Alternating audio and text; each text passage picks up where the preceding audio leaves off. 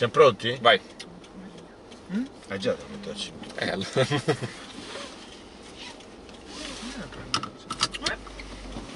Ok. Oh, Bella Madonna! Sì, chi credi di essere?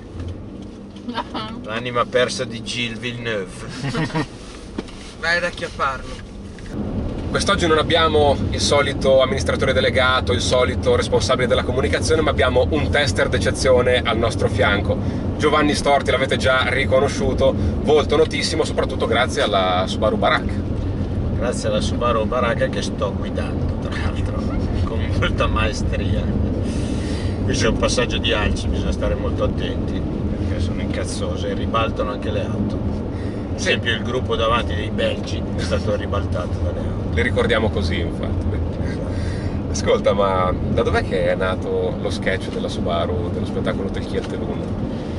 Eh sì, in realtà la macchina era un'altra, però poi siccome sono diventato un subarista e suonava benissimo Subaru Baracca e allora quello è stato l'indirizzo prescelto e non l'abbiamo mai più cambiato. Sì, perché non tutti lo sanno, ma Giovanni è subarista convinto. Ormai da vent'anni, non so perché, chiaramente, però ormai subarista. Senti, ehm, cosa ci puoi dire delle Subaru che hai avuto? Cosa ti ha convinto così tanto eh, da sposare quasi questo marchio giapponese?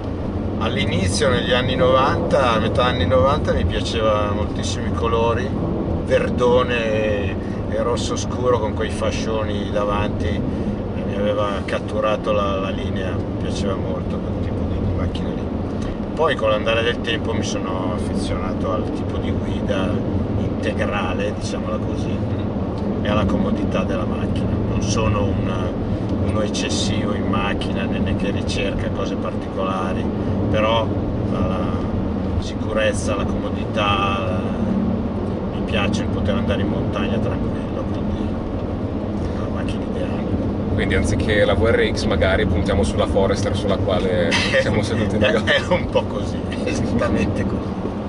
Siccome una, una- anche una casa in collina con amici, e li ho stupiti andando su e giù per i campi, non con la strada asfaltata, con, con la Forester. È un pilotone veramente di un certo livello. Nei corsi di guida sportiva che abbiamo avuto modo di fare sul ghiaccio poche, poche ore fa, Giovanni si è rivelato essere veramente un manico Sì. di un certo. Sì, sì, ho rotto un certo- musetto, ho incastrato la macchina.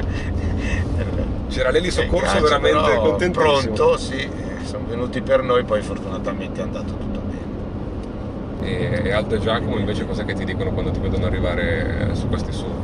Beh, chiaro che sono molto invidiosi, sono veramente invidiosi. Aldo purtroppo è inconsapevole di quello che guida, per cui gli fai guidare dalla bianchina, non so, a quella che hai citato prima, per lui è uguale. Come il vino, per lui se gli dai il gasolio o Brunelli Montager è uguale.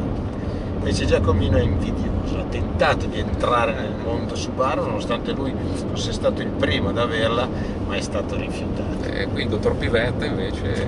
Pivetta è stato lui che il dottor Pivetta è stato rifiutato.